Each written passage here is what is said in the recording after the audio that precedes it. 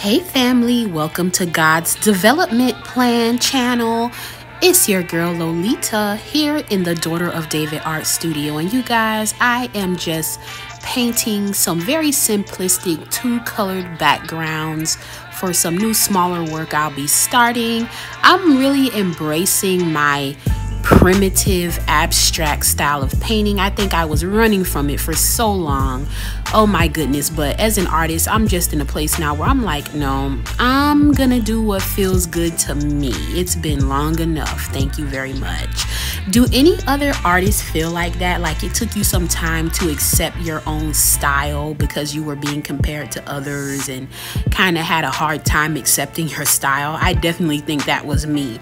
But I like to do what makes me happy because it translates to the canvas. Do you guys agree? Let me know what you think.